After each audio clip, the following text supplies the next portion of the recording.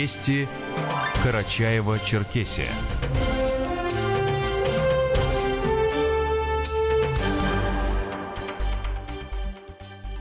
Здравствуйте, уважаемые радиослушатели, в студии Руфина Ковалева. Сегодня в нашем выпуске Карачаева-Черкесия получит дополнительные средства на комплексное развитие сел. В рамках заповедной школы Русского географического общества волонтеры помогут исследовать Тибердинский национальный парк. На базе общеобразовательных организаций в сельской местности до конца года откроют 26 новых точек роста. Итак, главным новостям. Жителям сельских территорий в шести российских регионах серьезно улучшат условия жизни. По поручению президента федеральное правительство направит почти 370 миллионов рублей в Псковскую, Ростовскую, Рязанскую, Самарскую области, а также Карачаево-Черкесию Якутию на финансирование мероприятий по комплексному развитию сельских территорий. На эти средства будут построены и обновлены водопроводные сети, очистные сооружения, дома культуры, детские сады и так далее. Решение повысить в регионах доступность качественной социальной и инженерной инфраструктуры для 16 тысяч жителей в 14 населенных пунктах. Об этом сообщил председатель правительства страны Михаил Мишустин. Важность этих мер всегда подчеркивает президент. По итогам 25-го Петербургского международного экономического форума он дал поручение о выделении дополнительных средств на реализацию проектов комплексного развития сельских территорий. Подписано распоряжение, которое позволит повысить качество жизни в деревнях, селах и городских поселках еще в шести регионах. В Псковской, Ростовской, Рязанской и Самарской областях, Карачаево-Черкесии и Якутии. Там будут построены или обновлены водопроводные сети, дома культуры, детские сады, школы и ряд других объектов.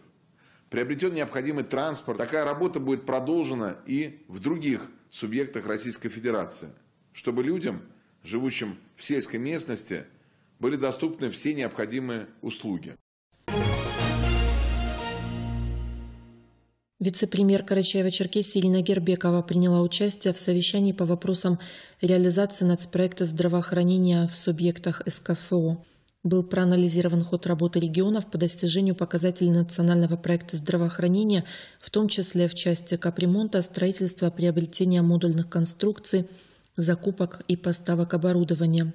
Вице-премьер Карачаева-Черкесии рассказала, что до конца года планируется завершить ремонт поликлиники села Учкекен, Тибердинской участковой больницы, строительство ФАПа в ауле Верхний Учкулан и врачебных амбулаторий в поселке Октябрьском и станице Преградной.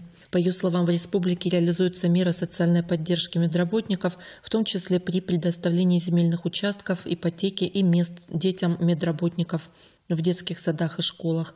Гербекова также подчеркнула, что доля граждан, ежегодно проходящих профилактический медицинский осмотр или диспансеризацию в Карачаево-Черкесии, составила почти 40%.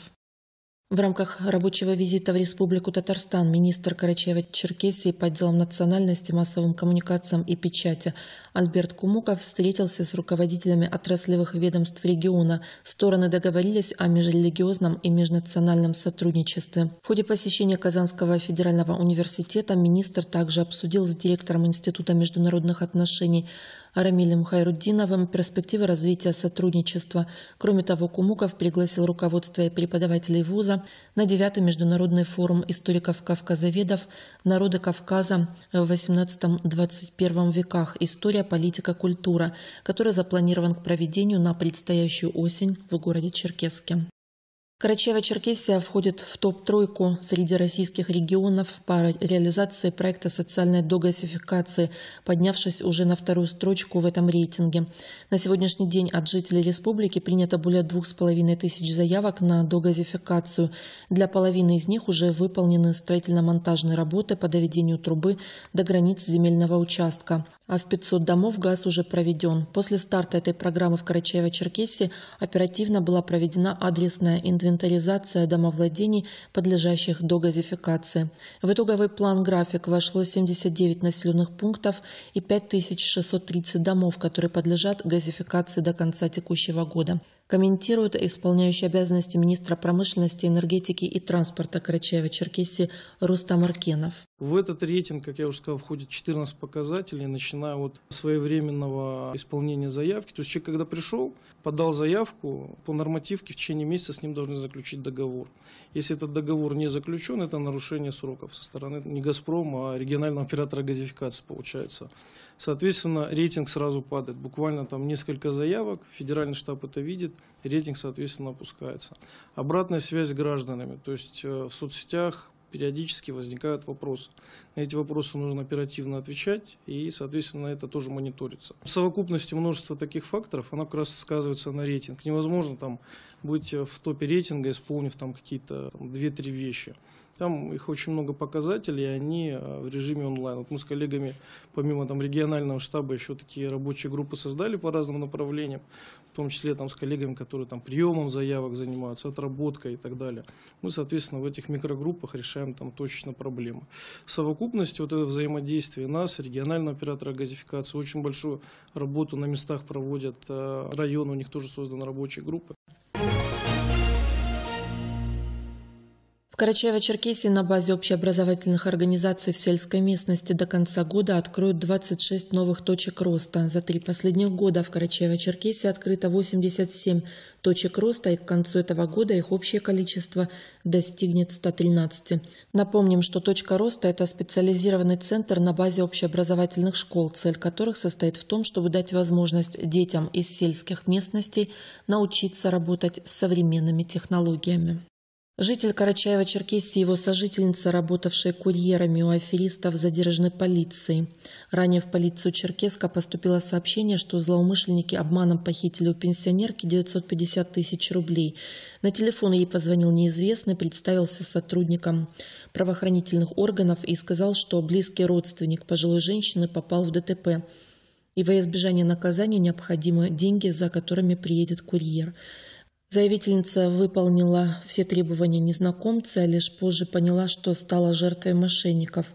В результате оперативно-розыскных мероприятий задержаны 22-летняя девушка и 28-летний молодой человек из Усть-Джигуты. Похищенные деньги они дистанционно отправляли куратору, оставляя себе долю в 5%. Общая сумма похищенных денег составила более миллиона рублей. Информацию комментирует заместитель начальника отдела управления уголовного розыска МВД по Карачаево-Черкесии Эмир Балатов. В подобных звонках, в первую очередь, что необходимо вам сделать, это не поддаваться панике, которую навязывает вам звонивший. Если вам вдруг поступил аналогичный звонок, прервите данный разговор, перезвоните своему родственнику, установите все обстоятельства, действительно ли он попал в беду. А если вы не дозваниваетесь или телефон выключен э, родственника, которому вам представили, свяжитесь с остальными членами семьи, чтобы также установить все обстоятельства. Э, позвоните в больницу, уточните информацию о том, есть ли э, среди пациентов ваш родственник. Э, также свяжитесь со своим участковым и передайте всю информацию, которую вам сообщил мошенник. Карачаево-Черкесии обсудили внедрение маршрутов общественного транспорта в систему Яндекс Транспорт, создать единое транспортное пространство, сделать перевозки безопаснее, улучшить доступность транспорта для пассажиров. Это главные задачи транспортной стратегии Карачаева-Черкесии.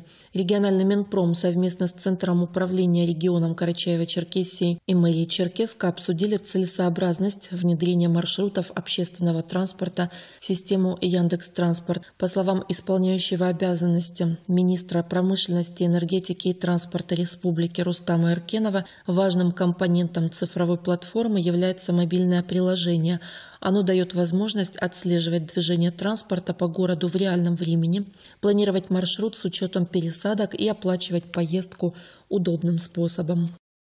В Карачаево-Черкесии волонтеры в рамках заповедной школы Русского географического общества помогут исследовать Тибердинский национальный парк – Программа школы включает помощь сотрудникам в благоустройстве территории, наблюдение за краснокнижными животными, проведение фото и видеосъемки, исследование заповедных территорий во время полевых выходов. Участниками школы станут представители общественных организаций, медиаспециалисты, руководители участники молодежных клубов Русского географического общества в возрасте от 18 до 35 лет.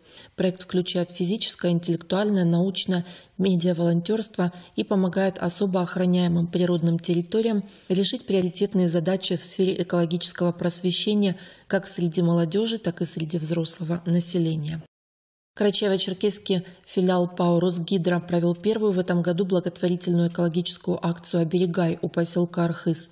Мероприятие состоялось при поддержке Республиканского центра дополнительного образования детей – Софийская поляна была выбрана местом проведения акции «Оберегай не случайно». Несмотря на наличие мусорных контейнеров у палаточных городков, волонтерам и экоактивистам приходится довольно часто убирать эту поляну. Около 80 детей из палаточного лагеря «Юный турист» при поддержке Русгидро очистили от мусора любимое многими место отдыха. Для проведения уборки учащихся центра обеспечили хозяйственными перчатками, мешками для мусора, а также фирменной экипировкой с символикой акции. Мероприятие прошло в формате соревнования. Волонтеры разделились на команды по пять человек и за несколько часов собрали около 90 килограммов мусора. С 15 по 19 августа в Национальной библиотеке имени Халимат Байрамуковой в Черкеске пройдет творческая лаборатория школы культурного форума регионов России. К участию приглашаются сотрудники и руководители негосударственных организаций в сфере культуры в Карачаево-Черкесии. В рамках мероприятия запланировано обучение по двум направлениям – основы социокультурного проектирования и основы управления в некоммерческом секторе в культуре.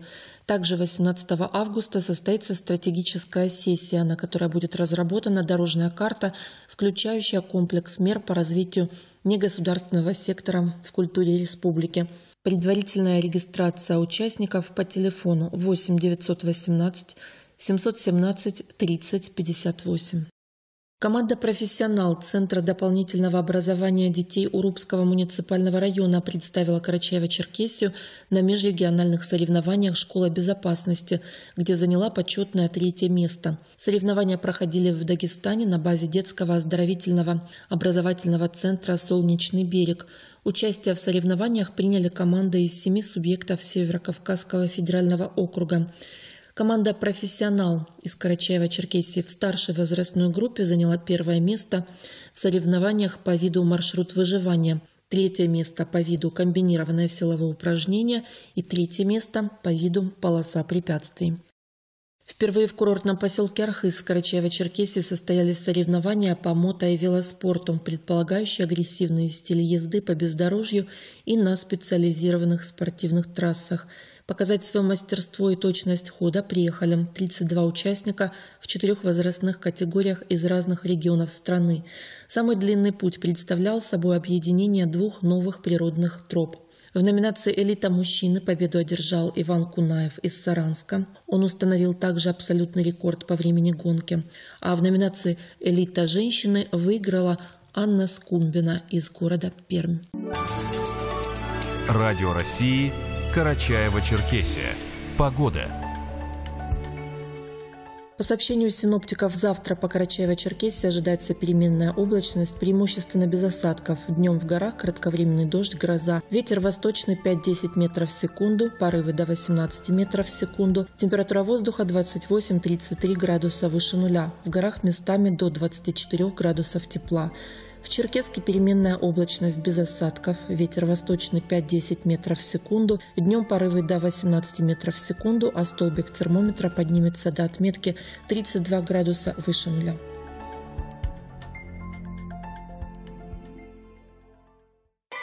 Реклама. Индустриально-технологический колледж продолжает набор выпускников 9-11 классов. Бесплатное обучение, поступление без сдачи ОГЭ и ЕГЭ, стипендия, общежитие, отсрочка от армии, с получением профессии, техники грузовых и легковых автомобилей, автогрейдерист, экскаваторщик, электромонтажник, сварочное производство, моделирование швейных изделий, парикмахер, мастер по обработке цифровой информации. Хотите зарабатывать достойно? Звоните, пишите, приходите. Количество мест ограничено. Индустриально-технологический колледж. Улица Октябрьская, 56. Телефон 21 17 25. Мы растим профессионалов. Стань успешным и ты. Это были главные новости Карачаева-Черкесии. С ними вас знакомила Руфина Ковалева.